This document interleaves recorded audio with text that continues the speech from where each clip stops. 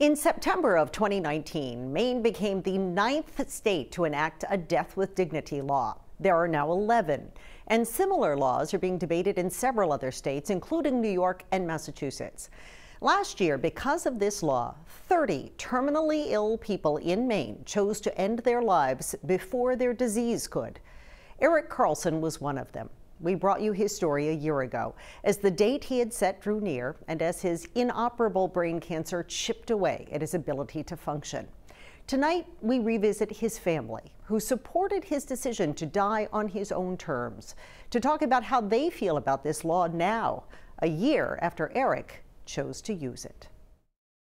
I don't want just days I, I want to be me and do the things I want to do. That was Erik Carlson eight days before he died. It, it was so clear, like, this is it. His thoughts were clear, his choice unwavering. He would complete all of the required steps to use Maine's death with dignity law. There's a peacefulness to it. There's just an absolute peacefulness to it. He got us together and he said, This is what I want to do. And we all agreed that in his case, absolutely the best end to a horrible situation. Erik had glioblastoma, an invasive brain cancer with an awful end. He fought hard for a year and a half. After his second brain surgery, his doctors leveled with him and told him he would probably have about six more months to live that he would end up in a wheelchair, incontinent, us feeding him. He said, no, thank you. It's not for me. The trauma of like watching him deteriorate um, any further would have been um,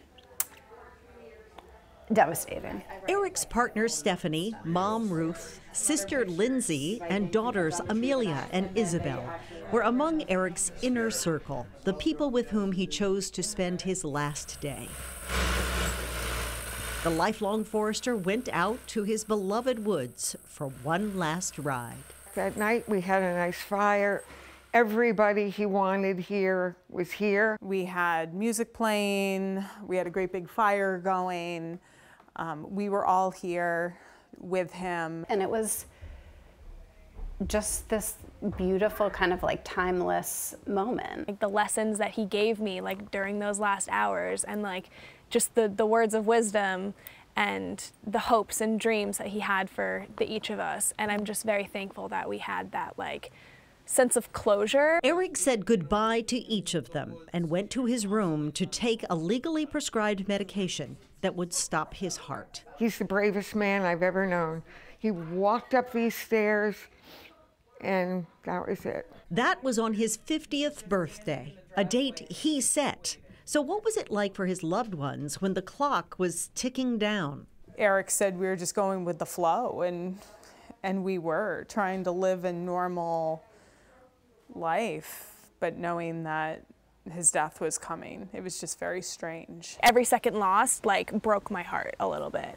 And I think that was that was like the hardest part. It just gives you a heightened sense of uh, appreciating the moments that you have. They all agree that last week, the second in the mandated two week waiting period, was difficult for Erik. He was so frustrated and just seeing him in that state of frustration where like the week before there had been such peace. It was probably the most miserable week of his life.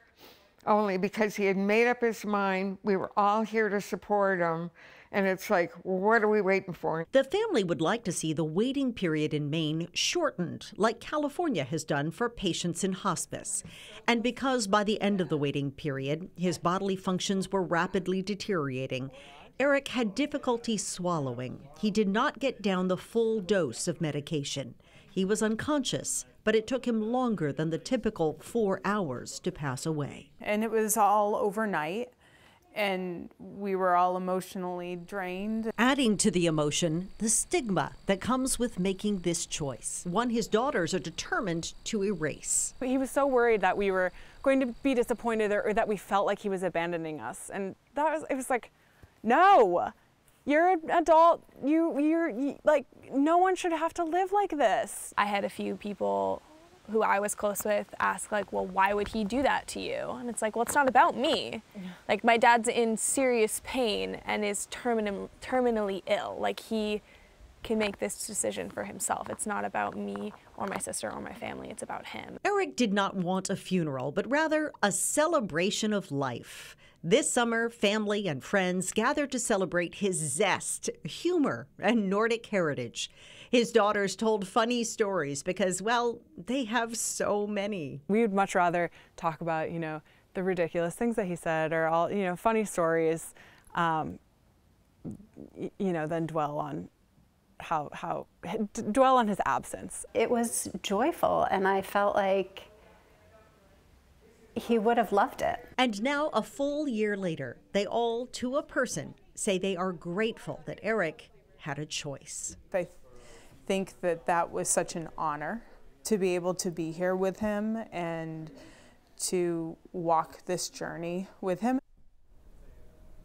Erik asked his family to advocate for death with dignity, and clearly they have. Ruth, his mother, lives in Massachusetts, and she says she's doing everything she can to get a similar bill, now before the legislature, passed in that state.